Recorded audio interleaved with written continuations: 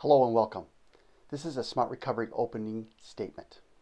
This is open meeting for Smart Recovery. SMART stands for Self Management and Recovery Training. SMART has four main objectives. Number one, to maintain motivation for abstinence. Number two, to cope with urges and cravings. Number three, to manage thoughts, feelings, and behaviors. Number four, to live a balanced lifestyle. SMART sees addiction as a learned unhelpful behavior. At the core of SMART is the principle that I am largely responsible for my thoughts, feelings, and behaviors, including my addictive behaviors. And if I want to change the way I feel and behave, I need to start by changing the way I think. SMART also believes that often at the core of addictive behaviors are many unhelpful thoughts and beliefs about my worth as a person. SMART encourages me to move towards thoughts and feelings and support unconditional self acceptance. These changes will take patience, practice, and persistence. At this meeting, we, we support one another in learning and practicing the principles of SMART so we can make the changes we believe will improve our lives.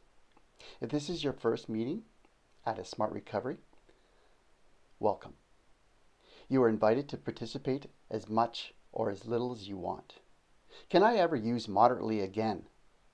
Chemical dependency is a continuum, not an either or. Most addicted people do bounce back and forth between use and non use.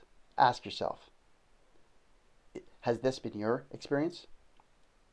That you generally can't use moderately after starting. If so, then that is your answer. From all we know, once a person has been severely addicted, the best answer is complete sobriety. Actually, complete sobriety is the, in the end, the easiest method. Does permanent sobriety sound scary and unachievable? Sure, this is normal. But give that a scare, some time off, to learn more, especially about what your own capabilities and desires are.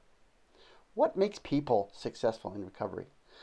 Scientific research has shown that people who have successfully recovered, regardless of any method, all have four basic traits. Number one, commitment to sobriety.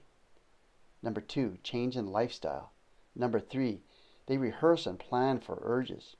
Number four, they stay connected. Smart Recovery will show you how to reach each of these traits for success. So during this meeting, we'll have some, we have some very simple guidelines. So confidentiality. Who comes here and is what is shared here stays here. Own what you share as much as possible by using I statements. Respect each other. So during this meeting, there's no racist, sexual, or homophobic comments in the chat room. The meeting are a safe place for all attendees. Personal space must be respected. Maintain order. Give everyone who wants a chance to speak to speak. During this meeting, we're going to we're going to avoid unhelpful graphic or detailed description about our substance use. So try to come to the meeting on time. Try to come to the meeting sober, very important. And lastly, keep the focus on smart principles and tools. Let's get started.